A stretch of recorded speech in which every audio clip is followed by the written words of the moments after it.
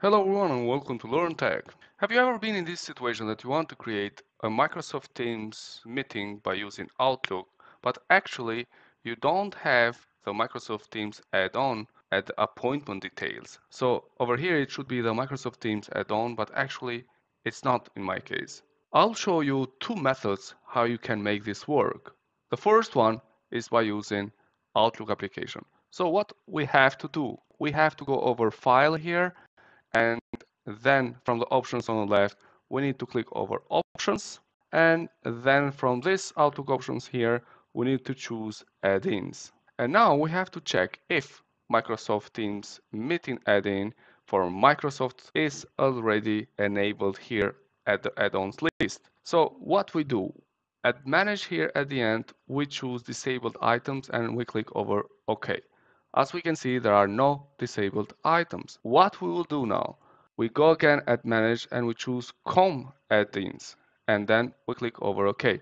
Here it is the list of COM add-ins that are supposed to be enabled and in this case Microsoft Teams meeting add-in for Microsoft Office is supposed to be enabled but actually it's still not showing there. What we'll do, we'll disable this one and we'll press over OK and then we'll enable back again. If it's not enabled in your case, then it's pretty easy. You enable it and then it should show there.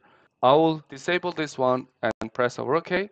We need to close Outlook in order that the changes to take effect. So now let's open again Microsoft Outlook and we go back again to add options and then again at add-ins. We choose again here com add-ins and then we press over OK. And now will enable Microsoft Teams meeting add-in for Microsoft Office. So we disabled and we enable it again. Let's see what will happen after that. Let's try to create right away a meeting here and let's see if Microsoft Teams will show. Here it is, Teams meeting add-in. It's showing already, but the best is you close the Outlook and then you open it again. So the add-in to take effect. But in my case, it's showing right away. So here it is, I just click Teams meeting and then all the details about my Microsoft Teams meeting will be shown here.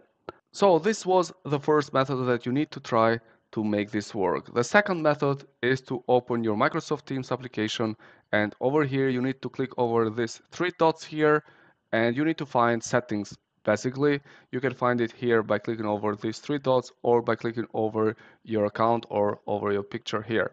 In my case, because I am still using the old version of Microsoft Teams, but it's pretty much the same thing. It should be at these three dots here or over the account here.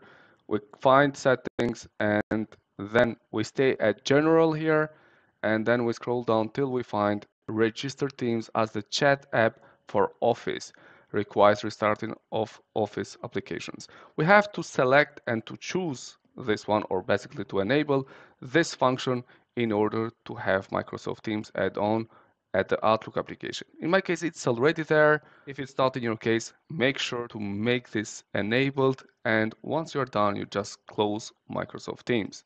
So basically, that's all that you have to do in order to show Microsoft Teams add-on there. I hope this video will help you to fix this kind of problem. And please consider subscribing to our channel if you like our content. Wish to you all the best. Thank you.